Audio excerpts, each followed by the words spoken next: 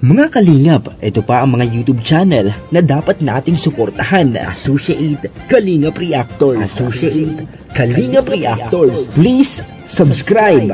RJ Moto TV. RJ Moto TV. Ayun.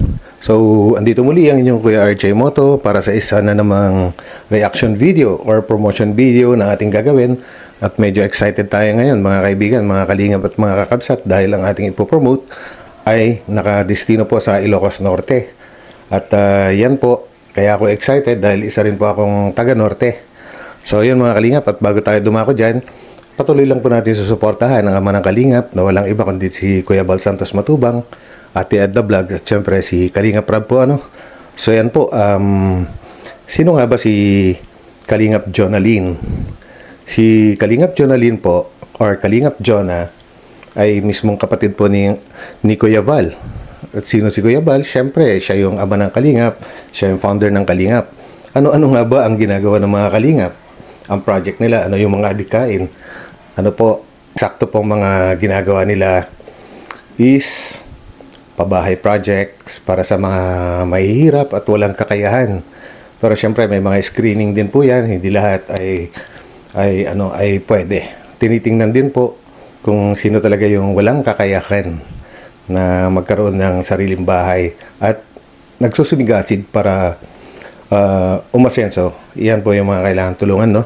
At bukod po dun sa pabahay, meron din pong scholarship program para sa kanilang anak or kung sino man po yung mapili, ano? At hindi lang po yan, may mga ayuda din, kompleto po, mga pagkain, allowance ng estudyante, etc. etc. So yun po, mga kalingap, no? Kaya ako na-excite dahil marami pong matutulungan lalo. Ah, actually, nakapag-umpisa na pong magpabahay si Kalingap Jonah no, sa Ilocos Norte. To be exact, mga one or two pabahay na po yung nagagawa. Mamaya po, ah, meron akong video na ipapakita sa inyo sa isa sa mga naging project niya sa Ilocos Norte kay Madam Clarita, if I'm not mistaken. Ano? So yun, Ah, kaya ako mas lalong excited. So yan mga kalingap, simple lang po. Kaya ta- natin ipinopromote para lalo pong dumami pa ang kanilang matutulungan. Dahil ang pinanggagalingan po ng revenue, pinanggagalingan po ng pinantutulong din sa kapwa mahihirap, unang-una po dyan, revenue galing po sa kanilang YouTube channel. Kapag po dumadami ang subscribers at nanonood, lalo na yung mga hindi nag skip ng ads, syempre, nadadagdagan na nadadagdagan din po yung sasahurin at yun din mismo ang ipinatutulong sa ating mga kapwa na mahihirap, ano? At hindi, uh, meron din po mga sponsors, may mga nagdo-donate, pero syempre, ang number one pa rin is yung sariling kita ni Ma'am Kalingap Jonalyn. Kalingap Jona. So, yun po. Uh, so, sa mga kapwa ko Ilocano dyan, suportahan po natin si ano, Kalingap Jonah, no? Mag, uh, mag-Ilocano tayo, siyempre. sige, sige, sige. Uh, kakabsat, ano? Suportahan tayo ni kwa ni Kalingap Jonah. Tapno madadu pa iti subscriber na, madadu ti followers na, tano dumakdak kay iti revenue.